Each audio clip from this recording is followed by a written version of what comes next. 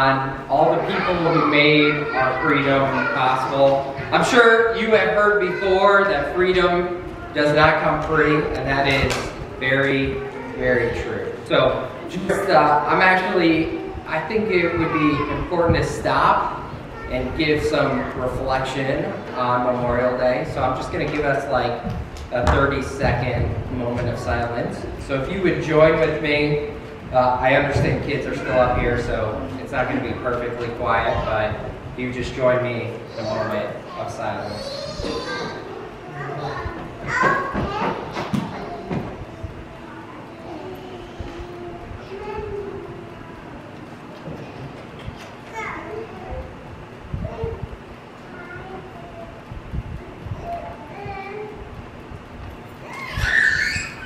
Thank you for that. Um, and I, I think what Murph and Bobby said was perfect for this time. And so I'm just going to leave it at that. Um, so a couple announcements. My father's house is on Spur, uh, Summer, and I think, man, we're, we're in the perfect place right now for uh, be responding to tragedy. I think as we, as people respond to tragedy, it is important to come to church. Stuff like 9/11 that happened. Um, and I was going back and forth, like, I think it's super important for me as the pastor of this church to give a spiritual response to this shooting. I want, I want to be clear, I'm not trying to be political. That's not my goal. I have no initiative to be political up here.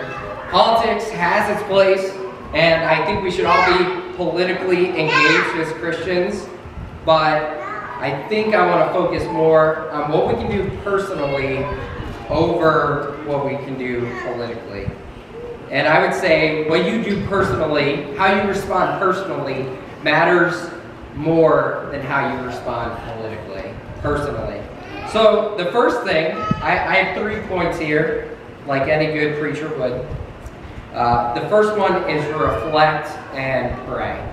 So you might see a bunch of things on Facebook about, I say, my thoughts and prayers are for this or that, and people are kind of getting tired of that.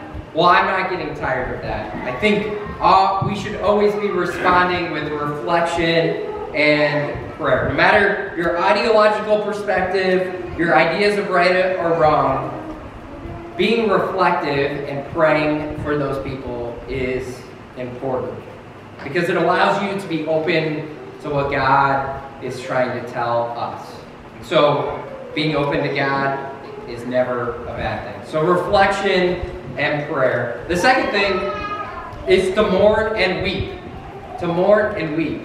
And so, uh, you might say, what is me mourning and weeping going to do for the people who uh, were affected by the school shooting? And I will say, nothing mourning and weeping, us personally, will do nothing for them. But how you respond to tragedy is important for your soul. And so when something tragic like this happens, I encourage all of us to mourn and weep in this situation. And the third point is love and compassion to everybody. Love and compassion to everyone. I think that love and compassion will do more than posting on Facebook, fighting with your Uncle Joe, because Jesus teaches that love and compassion is the most important thing. I'm not saying that these other things aren't important. I'm just trying to put first things first. So, um, if you guys, if we could pray for the families there right now, I think that that would be very helpful. So, if you would join me in prayer. Lord, we see such evil in this world, and what happened uh, on Tuesday was pure evil, Lord. And we lift that up to you. We pray that you would be working in the lives of the people affected, that you would be with them as they comfort them, and help us to have love and compassion towards others. Help us to keep this in our thoughts and prayers. And Lord, we just love you and we mourn in this situation. In Jesus' name we pray. Amen. And then just a couple new announcements. We have announcements on there, but there's just two more. Bridget's father, um, her father's cancer has metastasized and has moved to his spine, and he's dealing with a lot of pain. So if you could keep her father in your prayers. What's his name? I'm sorry. Kevin, if you could just keep Kevin. David. David. Why? I, David. Uh, if you could keep David in your prayers. Also, Mike Bowers, who sometimes sits in the back, uh, Richie's friend, his grandfather died this morning, so if you could keep his family in your prayers as well. So we'll pray for those as well. If uh, the ushers want to come up, we will lift this all up in prayer. Part six of our sermon series, The Life of David. And we have one more week of this, so we're going to close up next week. Last week I talked about David living in adultery, and uh, that's an important thing. This week I'm going to be talking about blessing and curses, but I wanted to close up this sermon series on just an overview of the life of David. And then in two weeks, a guest speaker will be coming. It is one of my fellow classmates that I go to school with, and uh, he is going to be sharing a fantastic word with us today. I will be here, but he will be joining us. But today, I want to be talking about blessings and curses. And maybe you've heard these terms before and you think that they're religious, right? Blessings, you might think about praying before food. Or you might be thinking about saying God bless you to somebody after they sneeze. Or you might think of the Beatitudes, right? Jesus says, Blessed are the poor in spirit, blessed are the pure in heart. We easily think of these terms as religious terms, blessing. Or you might hear the term curses. You might say, oh, that's a bad religion. Or bad things. Witches or Harry Potter, that blessings are good things and curses are bad things. But these are both religious terms, and they are both essential to the biblical story. So, blessings and curses are essential to the biblical story.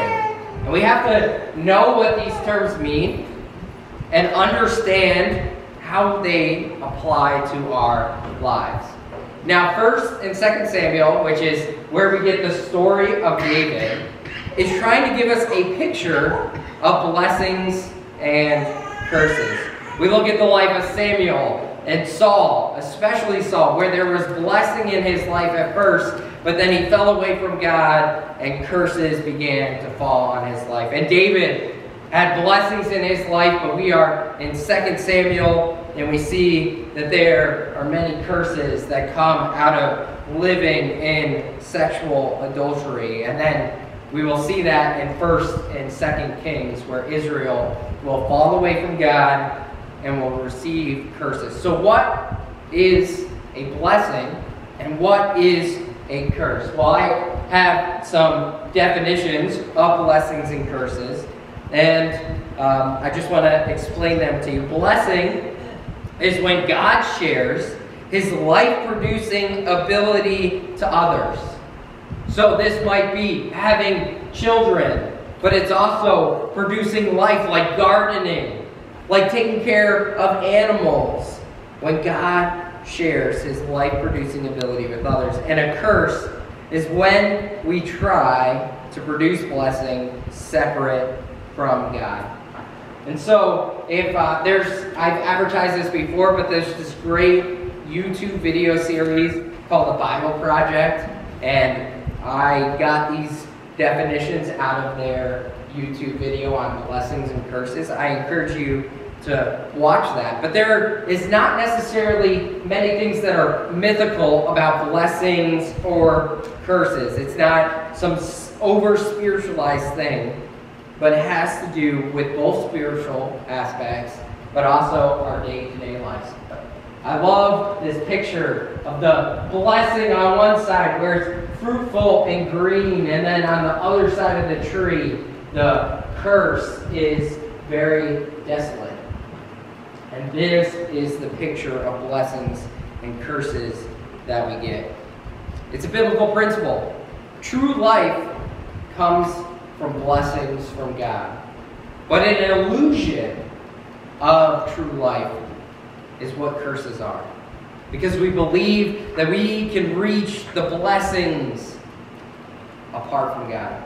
And that's not true. And we see this from the beginning, right? The um, Satan deceiving Adam and Eve. Did God really say that? Is that true? If you eat of the, uh, from the tree of the knowledge of good and evil, you will be like God, trying to receive blessing apart from God always turns into a curse. Before the fall, Adam and Eve had food and dominion over the earth and fruitfulness. But after eating the apple or the fruit from the uh, tree of the knowledge of good and evil, they fell. We are always trying to take a shortcut away from God's blessing to receive blessing on our own. If I can get blessed aside from God, I no longer need God. But like I said before, it's just an illusion. It's not true blessing. Sin is always a curse. No matter what it is, it is always a curse, even though it seems like a blessing. And this curse extends far beyond what we ever imagine. Sin is always expanding so far. And this is what David's story teaches us. It teaches us to beware of curses and to look for God's blessing, not blessing apart from God. Today we're going to be talking about 2 Samuel 13 through 19. But I'm going to be going just like talking about it and only reading a few passages from it. I encourage you guys to read it on your own, to know what I am saying is true, to evaluate it for yourself, because we will be jumping around. But basically, 2 Samuel 13 through 19, what we see is that there is a rape in which one of David's sons rapes his sister Tamar Amnon rapes his sister Tamar. And then Absalom, who is a the full brother of Tamar, kills Amnon. And then Absalom grabs for power from his father David. We will also kind of allude to Solomon, who is one of David's sons, who be, actually becomes king after David. But when it comes to blessings and curses, I have three points. And the first one is that our sin spreads wide through curses. And so if you look at this, there's kind of a center part of this picture and it spreads out. This is a picture of a network or bacteria spreading. And it can many times be uncontrolled, the connections that are made. Our sin spreads wide through curses. We think that our sin only affects us. I many times will say, oh, if I do this, it's only going to affect me. But we forget how far sin goes. We forget how far sin goes. I'm going to give you a simple example lying. Many of us think that lying is a harmless lie. It's not that big of a deal. It's not going to hurt anybody if I tell a lie, especially if it is about me. But one thing we see today is the effects of constant lying. The corrosion of truth. How many people in the past year have heard about false information, right? That there's all this false information and we don't know what's true and what's not true. Because we see that leaders are constantly lying. The simple thing of lying has turned to a destruction of our country because we don't know who to trust. This has happened with many people who say the world is flat, right? So Many people, most people in the world, believe that the world is round. But there are people out there that believe that the world is flat. And we might say, this is a conspiracy theory, right? The world is flat. It's a conspiracy theory. But it's a it's something that people believe because the people in power have lied for so much, for so long. That lying, it's a simple thing of lying, has turned into a de degradation of society. All by a simple lie that is then not considered to be sin. This is what happens when we consider sin not sin. It degrades the society around us. The sin can be simple, but it will always have massive consequences. I have learned this in my own life that my past sins have affected me today. When I was in high school, people to do drugs and drink alcohol. This is uh, something I'm very not proud of, but I began to peer pressure people. And I remember when I was a senior, I peer pressured some freshmen into doing drugs and alcohol. And then I became a Christian my senior year of high school, and I left all that behind and I forgot about those people who I peer pressured into. And many years later, I came back home and I found out that one of my cousins was doing heroin. And I was shocked and I asked how he ended up getting into heroin. And wouldn't you know it, it was the two people that I peer pressured when I was a senior in high school. Our sins have effect. They go far. It spreads far. We see this with family curses, right? That children who are born out of wedlock are statistically more likely to have children born out of wedlock themselves. That uh, depression and anxiety are passed down from generation to generation. Alcoholism, something that is very near and dear to my heart, gets passed on from generation to generation. And a pride that doesn't allow God to work in people's lives, passed down from generation to generation. We all have family curses. And David had this too in his family.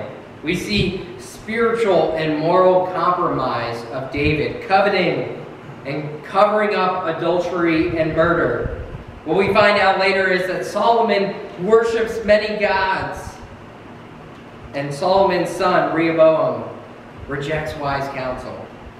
It's a thing that is passed down from generation to generation. Unresolved conflict is something we see throughout the Bible.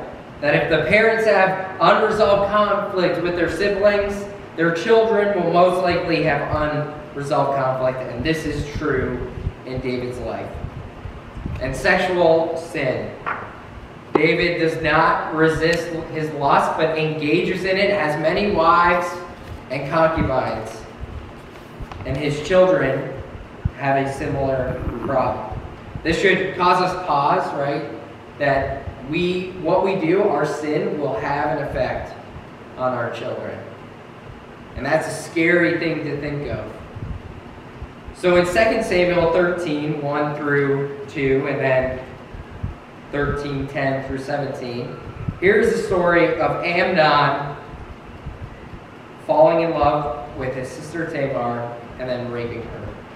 So 2 Samuel 13, 1 through 2 says, In the course of time, Amnon, son of David, fell in love with Tamar, the beautiful sister of Absalom, son of David. Amnon became so obsessed with his sister Tamar that he made himself ill. She was a virgin, and it seemed impossible for him to do anything to her.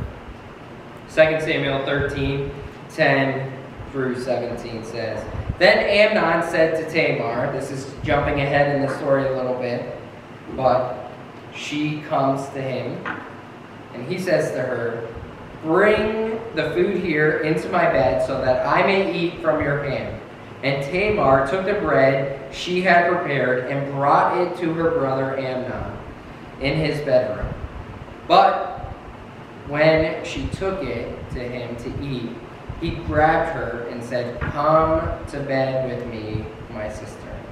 No, my brother, she said, don't force me. Such a thing should not be done in Israel. Don't do this wicked thing. What about me? Where could I get rid of my disgrace? And what about you? You would be like one of the wicked fools in Israel. Please speak to the king. He will not keep you from being married, or not keep me from being married to you. But he refused to listen to her. And since he was stronger than she, he raped her. Then Amnon hated her with intense hatred. In fact, he hated her more than he had loved her. Amnon said to her, Get up and get out. No, she said to him, Sending me away would be greater wrong than what you have already done to me. But he refused to listen to her. He called his personal servant and said, Get this woman out of my sight and bolt the door after her. I spoke about this last week, but uncontrolled lust always runs amok. And the pattern set forth for children will be a pattern that is followed.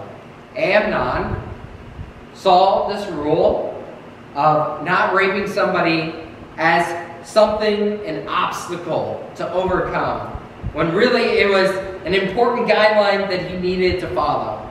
And as we read in this story, he thinks that his satisfaction is going, is all he needs. I just need to relieve myself of this satisfaction, and then I will be satisfied. But instead, he feels worse.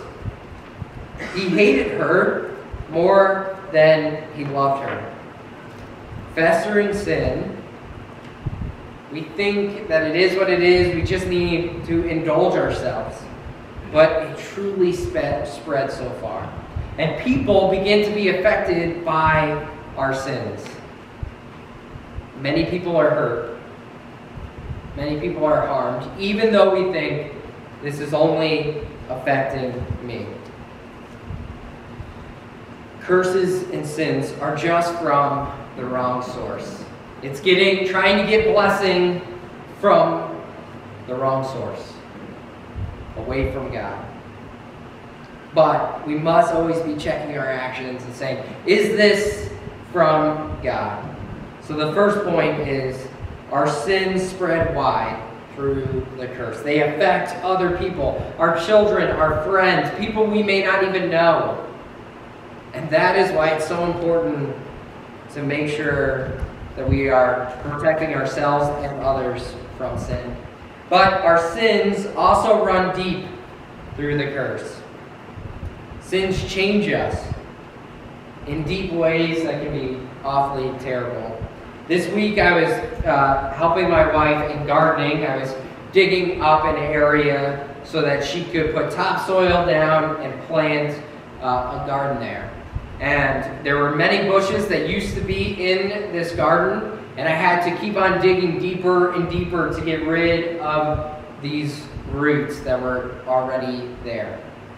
And as you can see here, I love, I love this picture because you can see just how deep the roots of this tree are. The deeper the roots, the harder it is to uproot. If you've ever done gardening you realize this, but this is also true in our lives with sin. What we think is good can many times be really bad for us and dig down deep. Bitterness and uh, uncontrolled sin. Well, Tamar had a brother, and he was her full brother. And like any good brother, Absalom was protective over Tamar.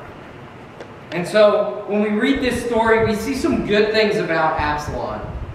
He is portrayed as a villain, but protection over a sister is such a great thing.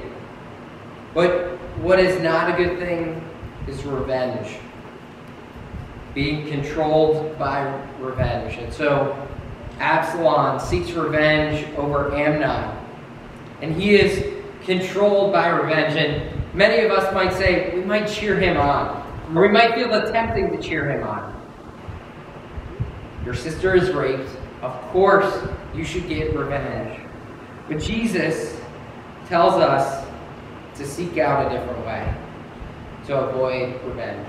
Now, I, am going to be honest. I mean, if I'm standing up here, if something were to happen to my children or my wife or one of my sisters, I'm not going to stand up here and act like I wouldn't want revenge or wouldn't even seek revenge. But I know what Jesus offers, and what he offers is that we should not seek revenge. We should certainly protect people. We should be protecting our children and our spouses and the people who are weaker than us. And what Amnon did was terrible, but Jesus teaches against revenge. And it may be a part that we don't like, but it is something that we should be, pay attention to. Because when we seek out revenge, we are ruled by that revenge. And we see this in Absalom. That being ruled by revenge slowly destroys our heart. So Absalom kills Amnon, but it wasn't enough for him. After he kills Amnon, he tries to control the kingdom, take the kingdom away from his father.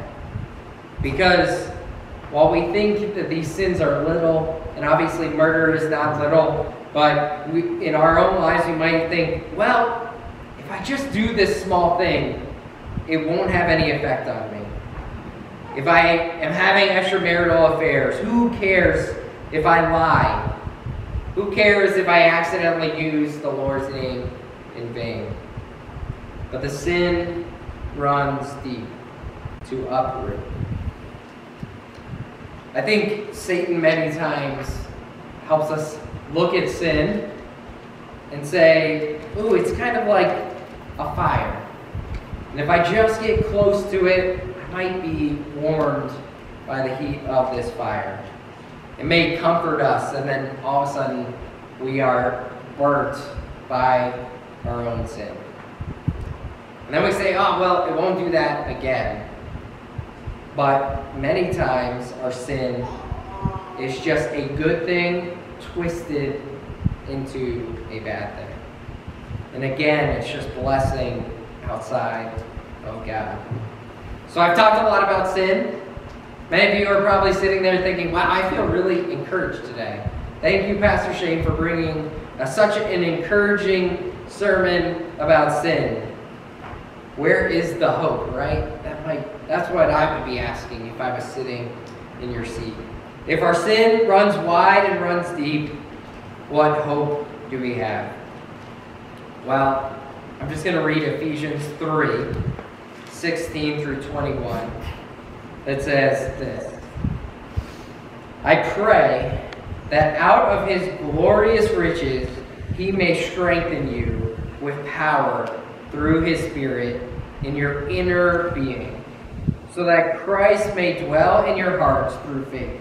And I pray that you, being rooted and established in love, may have power together with all the Lord's holy people to grasp how wide and how long and how deep and how high is the love of Christ. And to know that love that surpasses knowledge that you may be filled to the measure of all fullness of God. Now to him who is able to do immeasurably more than all we ask or imagine, according to his power that is at work within us. To him be glory in the church and in Christ Jesus throughout all generations, forever and ever. Amen. So curses go far, but blessing always goes further. Curses go far, but blessings always go further. And as you can see here, the cross's shadow extends past anything that we can imagine throughout the whole earth. See, the thing is that idolatry many times leads to sin and then to a curse.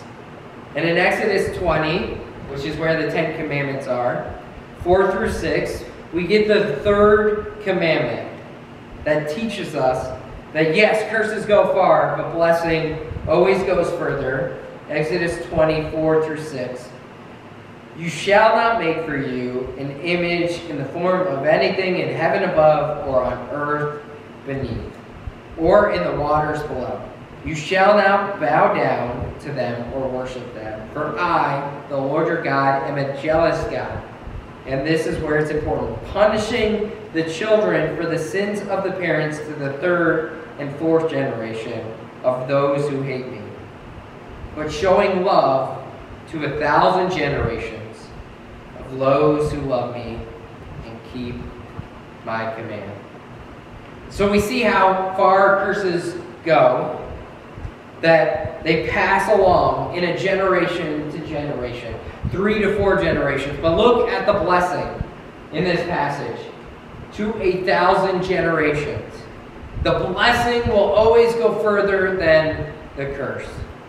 And the only way to undo curses is by being, by doing, by performing blessings. It's one of the reasons why I give a benediction every single week. Because I believe that blessings have power. By speaking over a blessing, it creates power. Again, blessing is sharing, but God sharing his life producing ability to others. And death never brings life, only life can bring life. So by how we undo curses is by living in the blessings of God and spreading that blessing to others. You don't stop sinning by focusing on the sin. You stop sinning by focusing on Jesus. By focusing on the giver of life. And David never loses his blessing. Let me repeat that again. David sins, but he never loses his blessing. But he has to deal with the curses in this world. But his blessing was that the Messiah would come out of him. We need to be seeking the blessings of the promises of our life. And it's easy to look around and say the curse has run far and wide. But by just looking at it, we're not fixing it. We need to be seeking the blessing. And it starts with us. Uh, I think it's appropriate this morning. I asked Murph to sing um, Amazing Grace. And it's one of my favorite songs, Amazing Grace. It's one of our country's favorite songs. Even in secular places, we sing it.